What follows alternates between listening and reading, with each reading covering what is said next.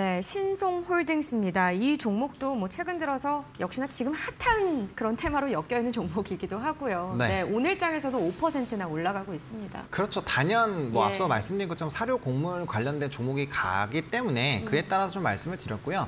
사실 오늘 이제 신성홀딩스를 할지 아니면 일진홀딩스를 할까 고민을 했는데 일진홀딩스 같은 경우는 탄력도가 좀 네. 떨어져서 어, 상대적으로 조금 말씀을 못 드리지만 이 안에서 좀 소개를 좀 드리도록 하겠습니다.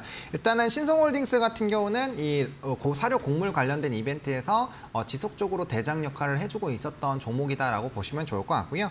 일단은 해외 사업자로부터 곡물을 공급을 받아서 어, 그것들을 이제 납품하는 업체입니다. 그러다 보니까 약간 무역업을 하고 있다라고 보시면 좋을 것 같고요.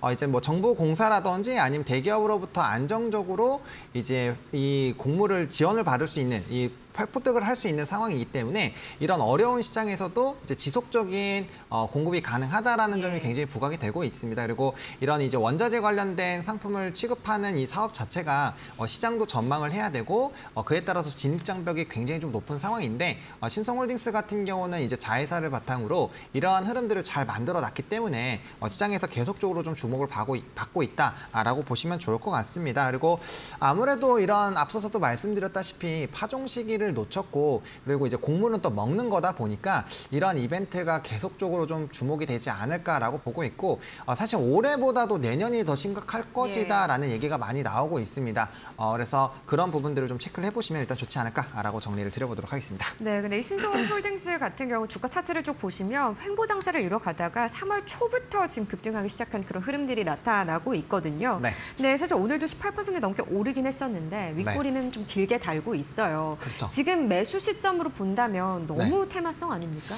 어, 그렇다라고 볼 수 있습니다. 그래서 음. 제가 앞서서 이제 이지홀딩스라는 종목도 말씀을 드렸는데 일단 뭐 신선홀딩스도 어, 지금 이제 대장 역할을 하고 있는 현대사료나 한일사료의 움직임이 지속적으로 된다라고 한다면 어, 저는 뭐 계속적으로 이벤트가 될 수 있지 않을까라고 보고 있고 일단 곡물 가격에 대한 이런 선물가가 계속적으로 오른다면은 뭐 지금도 저는 늦지 않았다라고 생각을 하기는 합니다. 왜냐하면 앞서서 말씀드린 것처럼 이제 곡물이 생산이 안 되는 건 올해이기 때문에 올해 지금 부족한 거는 작년에 생산분으로 예. 어느 정도 어, 해결이 될 텐데 올해 만약에 이제 경작지를 뭐 넓히고 이런 움직임이 나타나고 있지만 만약에 기후 변화에 따라서 지금 사실 일본 어, 미국 같은 경우는 어, 작년부터 이제 가뭄이 굉장히 좀 심했고요. 중국 예. 같은 경우 홍수가 굉장히 심했습니다. 그래서 어, 생산량이 굉장히 좀 급감을 하고 있고 그다음에 온도 차이 때문에 이제 경작지에 따른 수확량이 굉장히 좀 많이 차이가 나고 있는 그런 상황입니다.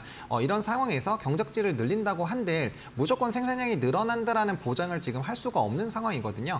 어, 그러한 상황이 유지가 돼서 결국엔 내년까지 이어졌는데 수확량이 좀 어렵다라는 이제 흐름으로 가게 되면 굉장히 어려울 수가 있습니다. 예. 그래서 어, 이 흐름이 굉장히 중장기로도 갈 수 있다라고 보고 있고 만약에 이 기조가 오래 간다라고 한다라면은 어, 당연히 좀 우상향 흐름들이 나타날 수가 있겠죠. 그래서 어, 보통 어, 대형주 섹터들이 6개월에서 한 10개월 정도까지 어, 장기 우상향이 나오는 흐름들이 나타나고 있지만 이런 원자재들 중에서 곡물이 좀 다르다라고 말씀을 드린 점은 일단 먹는 거고 그다음에 이제 이런 우려가 발생이 되니까 주요 곡물 나라들이 예. 지금 빗장을 걸어 잠그고 있거든요. 그래서 이런 부분들 좀 체크를 해보시면 좋을 것 같고요. 만약에 조금 위에서 움직이는 종목이 좀 부담스럽다라고 한다면 앞서 말씀드린 것처럼 이지홀딩스를 좀 말씀을 드리고 싶은데 예. 어, 이 종목 같은 경우는 어, 이제 사업 보고서 간단하게 보시면 뭐 이제 굉장히 다양한 이제 익숙하신 어, 이 이름들이 들리실 건데 팜스토리 일단 가지고 있고요.